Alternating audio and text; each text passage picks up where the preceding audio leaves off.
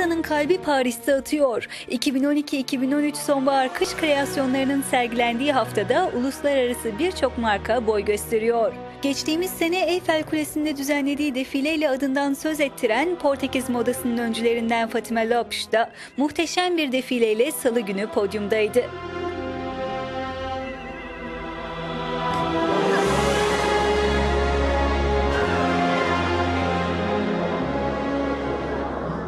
Klasik cello tınlarıyla koleksiyonunu tanıtan Lopes, sofistike şapkaları ve vatkalı ceketleriyle ipek ve derinin uyumunu yakaladı.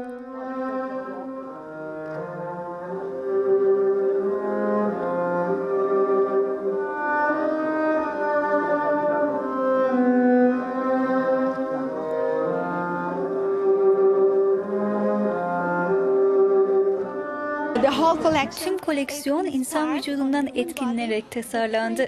Desenler vücudu hem içten hem de dıştan sarıyor. Ve koleksiyonda degradeleri kullanmayı denedim.